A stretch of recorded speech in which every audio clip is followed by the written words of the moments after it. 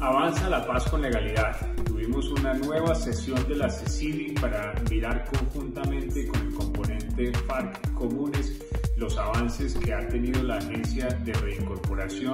En el centro de todos nuestros esfuerzos están y seguirán estando las eh, víctimas. Un agradecimiento a la unidad de víctimas, al doctor Ramón, por la entrega de 43 toneladas de ayuda humanitaria, alimentos, productos de aseo, los kits eh, de habitar a quienes han sido afectados por el desplazamiento en Olaya Herrera y en el Charco en Nariño. Continuamos apoyando a los excombatientes, a los 13.000 que están en proceso de reincorporación. En Tumaco, en el Nariño, entrega de los premios correspondientes a Chilarte y la Florida.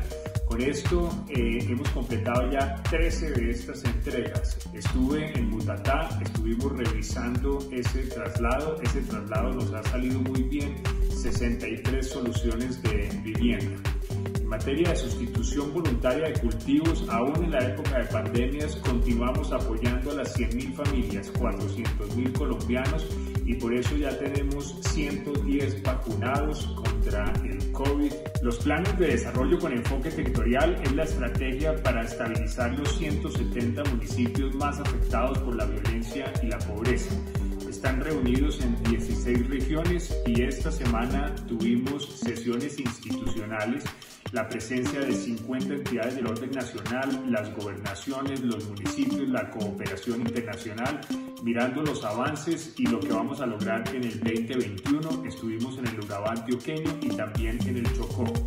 En el mismo Chocó estuvimos eh, haciendo la primera piedra de la vía que va de Condoto a Novita 3.6 kilómetros pavimentados, 18 mil beneficiarios. Y el presidente de la República, en nuestro Catatumbo, en el Catatumbo Sostenible, dio inicio a la construcción de la troncal del Catatumbo, Castilleros, Tibú, La Gabarra, 217 mil millones de pesos por parte de múltiples inversionistas.